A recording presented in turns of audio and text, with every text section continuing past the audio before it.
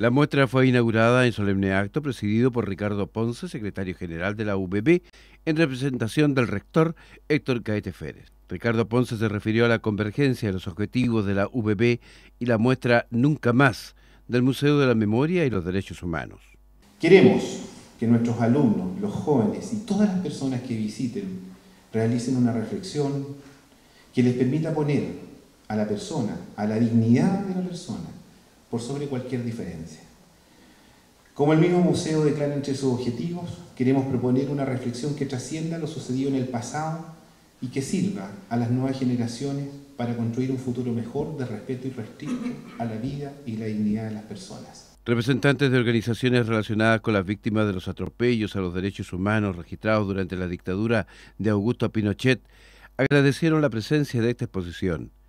Gladys Rodríguez Cárcamo, coordinadora de la agrupación de familiares de detenidos y desaparecidos de Concepción, recordó el doloroso transitar de los familiares en busca de sus seres queridos y cómo ese dolor se transformó en fuerza y conciencia social. Nuestro caminar por la vida no ha sido fácil, pero como dice uno de nuestros lemas, no hay dolor inútil, sentimos que nuestro dolor no ha sido en vano Hemos aprendido a valorar la vida, el respeto por la dignidad humana, el valor de la justicia y los derechos.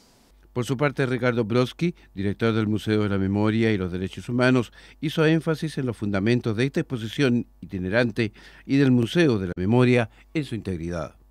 Se trata de una institución que busca, en primer término, ser un lugar para devolver la dignidad humana a las víctimas de la dictadura Buscamos recuperar sus rostros, sus biografías, sus identidades negadas, producir una empatía con su sufrimiento. El museo no busca con esta exposición reactivar viejos odios o abrir heridas, como a veces se dice. Lo que intentamos es mirar de frente nuestro pasado para hacernos cargo de él, inspirados en valores de justicia, verdad y reparación lo que buscamos es que desde esa mirada al pasado emerja una memoria que nos lleve a cuidar de mejor forma nuestra convivencia. La muestra permanecerá abierta en el aula magna de la UBP en Concepción de lunes a viernes de 9 a 13 horas y de 14.30 a 18 horas hasta el 12 de julio. Luego se trasladará a Talcahuano, en agosto volverá a la Universidad del Biobío, pero en el campus La Castilla de Chillán, hasta el 27 de septiembre. En octubre estará en Los Ángeles, provincia de Biobío, y en noviembre en Cañete.